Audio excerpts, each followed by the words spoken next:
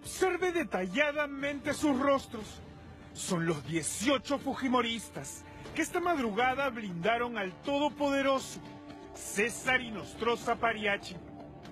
No ha sido aprobada la acusación, no ha sido aprobada la acusación contra el vocal supremo César Inostroza, contra el vocal supremo César Inostroza por la presunta comisión del delito de organización criminal.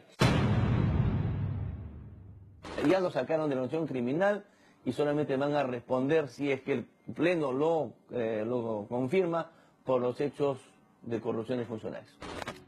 Entre ellos, la ex procuradora anticorrupción y hoy congresista naranja, Jenny Vilcatoma. Un verdadero delincuente, ese magistrado.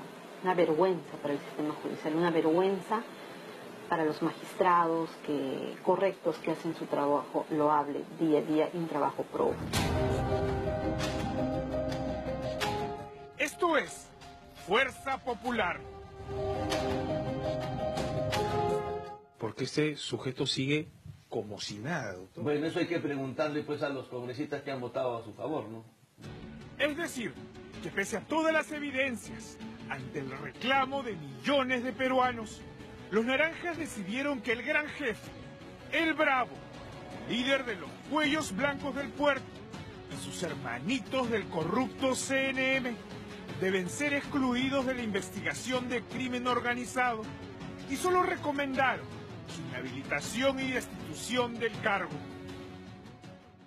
Lo que hemos escuchado no son hechos incidentales o, o actos individuales, sino el quehacer de una organización que funcionaba de manera perfecta desde el Callao hasta la Corte Suprema, pasando por el Consejo de la Magistratura. Todo eso ha sido absolutamente negado por el Congreso. Un hecho que el propio Inostroza, al mismo estilo de un prestigioso vidente, anunció ante nuestras cámaras una semana antes. ¿Cuál es el delito? ¿O qué delito cometido yo? eh? Yo no he cometido delito. Para mí, el Congreso, si es objetivo y no es político, Y así fue, pese a la serie de elementos que prueban sus diversos vínculos con los cuellos blancos del puerto y su hermanísimo Walter Ríos.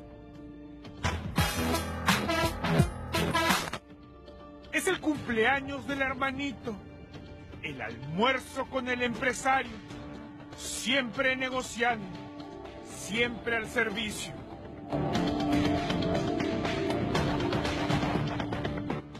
Audios en los que el suspendido Inostroza hace gala de su habilidad para negociar y traficar con la justicia.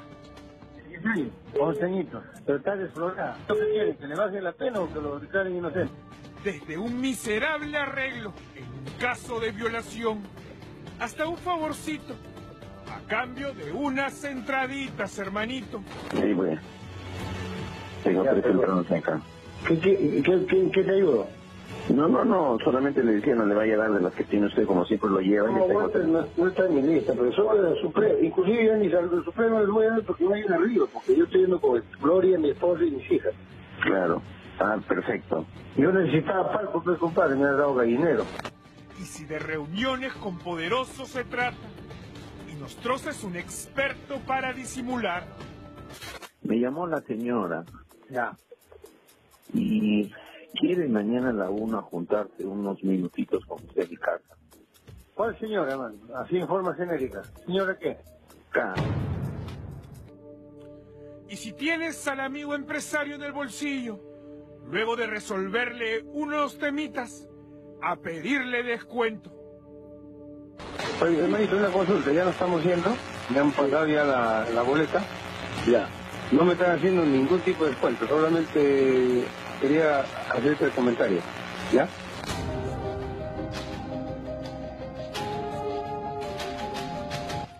Sin embargo, para la Fuerza Naranja, son solo palabras.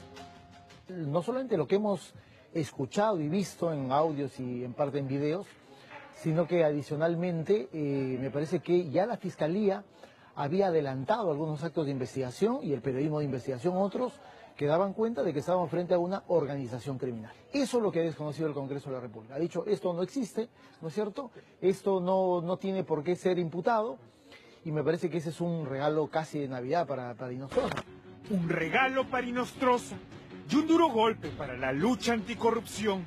Más evidencias imposibles como para poder justificar una investigación. Por eso es que eh, eh, la Procuraduría califica como un acto vergonzoso esta decisión.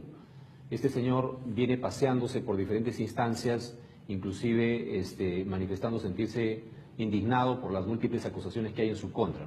Este señor no debe estar, digamos, un día, un día más eh, suelto en calle, no debería estar preso.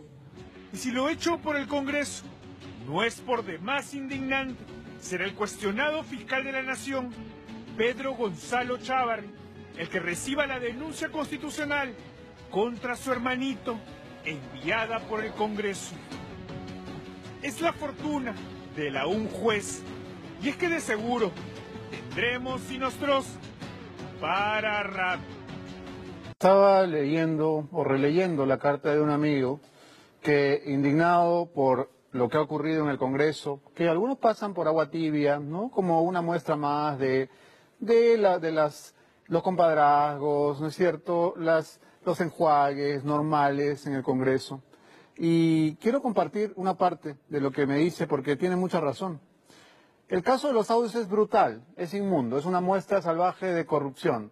Los encargados de dar justicia, de administrar justicia en el Perú, eran los criminales, los propios delincuentes, así de terrible.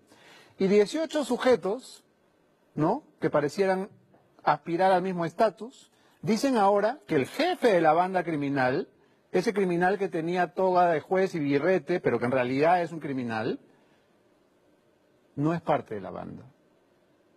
Nadie se da cuenta que hay acá un canje, que se está librando de prisión al juez Inostroza porque muy probablemente el juez Inostroza libró a ciertos políticos de ciertos delitos que incluían precisamente cárcel.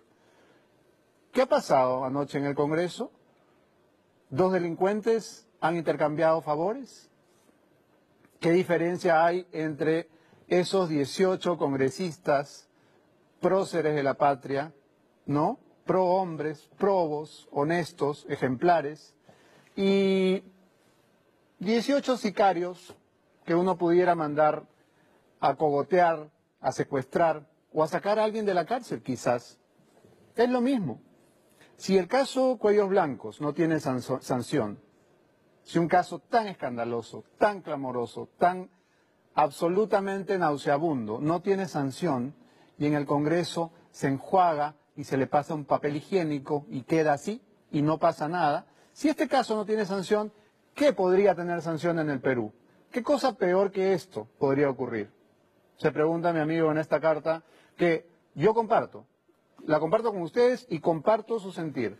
Porque de verdad es absolutamente indignante que se le haya protegido a este sórdido juez. Y es además una confesión de parte. Porque si yo protejo a semejante sujeto, quiere decir que soy como él, soy de ellos, es de los nuestros, somos hermanitos, somos compadres y nos tapamos, ¿no? Y estamos para ayudarnos. Y cualquier cosita me avisas, hermanito, hoy por ti, mañana por mí.